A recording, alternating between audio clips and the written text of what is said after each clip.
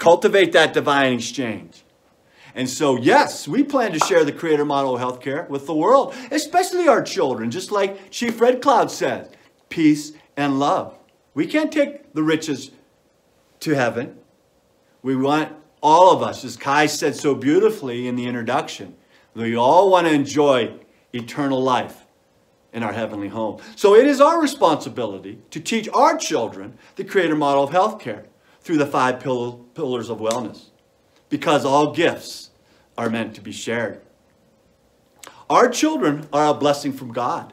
And Jesus reminds us, therefore, who takes the lowly position of this child is the greatest in the kingdom of heaven.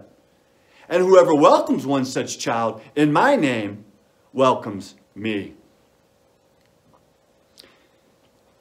And Keisha and I had a beautiful exchange at the end here at our, our book.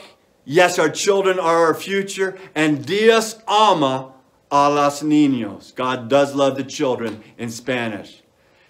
Right, Keisha? And she says, Indeed, I love our God.